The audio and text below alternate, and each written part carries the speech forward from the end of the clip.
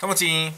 どうもおはようございます。速稼塾の久保です。今日はですねインターネットのドクターということで私はこんな格好をしております、まあ、間違ってもね医療系のドクターは私できませんのでちょっとまあこういうねコスプレでシャレをかましてみましたね。やっぱりねあの、なんですかねインターネットとかビジネスに関するお悩みを治療するという意味では、まあ、私もねインターネットビジネスドクターって名乗っても面白いのかなと思いますけどもね、まあ、それはそれでまた別の機会にやりましょう。実はねこの格好してるのは先ほどねちょっとこう医療系のちょっと動画の撮影がありましてそちらの方でね、えー、ちょこれ聴診器もいいでしょ？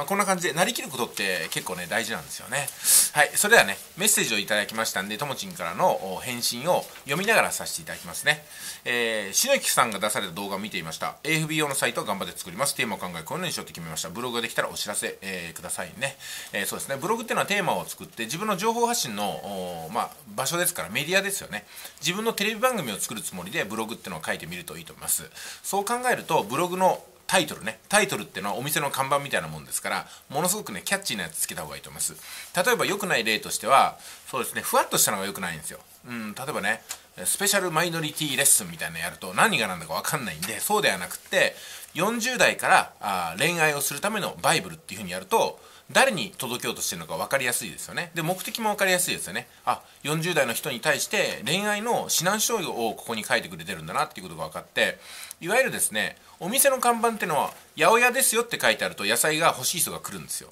お肉屋さんですよって書いてあるとお肉が欲しい人が来ますよね。でもスペシャルマイノリティレッスンとか書いてあると何なんだろうと思っちゃうんですよね。だからタイトルっていうのは明確にしかも短く作るのがポイントになります。これはこれでねタイトルの練習がいりますのでまたねお悩みの時は相談させていただければと思います。えインターネットビジネスドクターですよ。で次。えーと、お茶屋さんのホームページを作っています。とってもいいですね。だからこれもお茶をねどんなテーマでいくかってことなんですよ。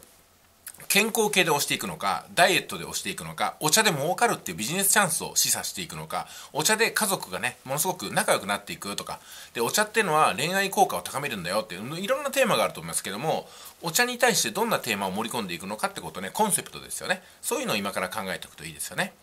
で、えー、台湾姉さんに LINE して聞いたところ公式ホームページじゃなくて Facebook のお店案内だけということなんでこれはね十分このお店に貢献できるんではないでしょうかね、うん、え地球の歩き方台湾にも出てるんですか？だったらここはねしっかりと、あのー、売り込んだ方がいいと思いますよ。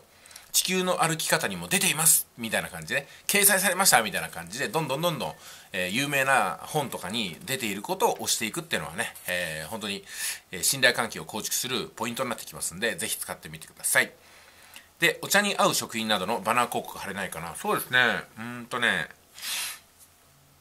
これはねお茶茶器ですね。お茶の食器とかもいいと思いますよ。うんどうでしょうかね。あのー、ちょっと前の すいません。カメラが倒れそうになっちゃった。ちょっと前の話なんですけども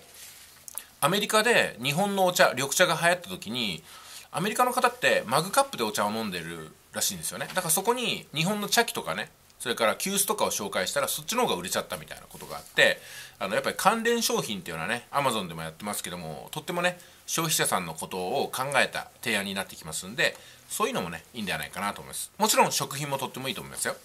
お茶に合うなんかねお菓子とかね。お茶に合う食事とかっていう提案もいいんじゃないですかね。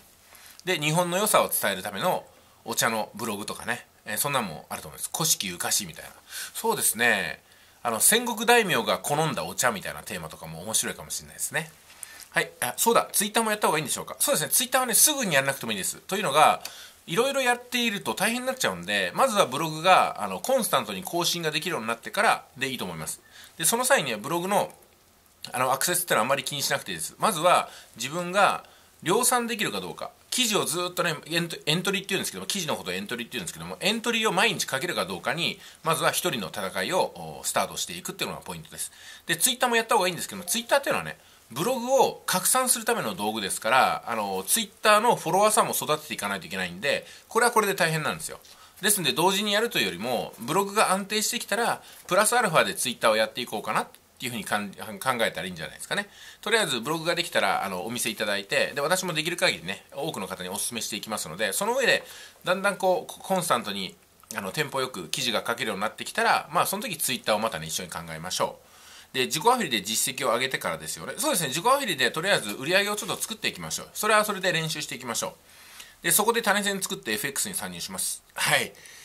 そうですね。FX はね長い目で見てください、うん、急にやるとものすごく FX に苦手意識持っちゃいますんで。まああの FX ねご経験があるかもしれませんけどももう一回ね最初からするつもりで一歩一歩着実に進んでいきましょう。FX は逃げませんのでまずはちょっとね今回ブログってものをなんとかね進めていきましょう、えー、ここまで書いて三つ時になって牛三つ時になっちゃったんですか。はいお休みだったんですね。で朝起きて、えー、4月24日の動画を見てピッチャーをやりながらバッターはやれないという言葉が印象できたあそうなんですよ。これねいろいろやりすぎると全部できなくなっちゃうんで1個を完成させてから次に行きましょうってことなんですよね。